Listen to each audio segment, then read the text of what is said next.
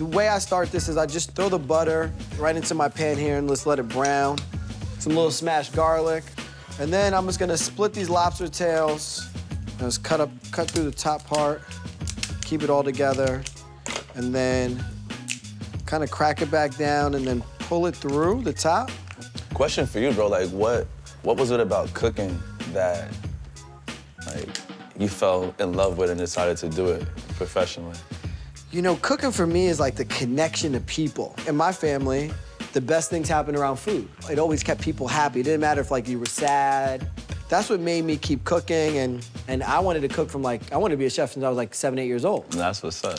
How did you fall in love with food? Because like I hear you talk about curry and jerk, like you Yeah. you light up.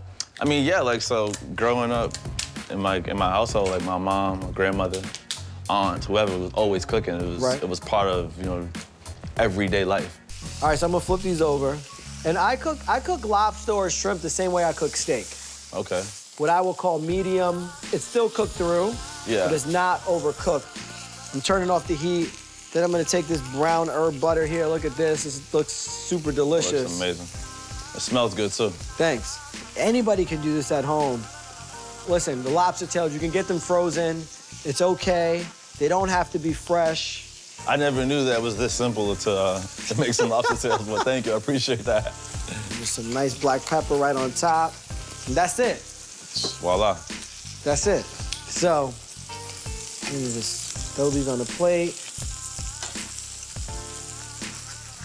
Oh, this, this smells so good. And then the extra butter, I'm not throwing this away.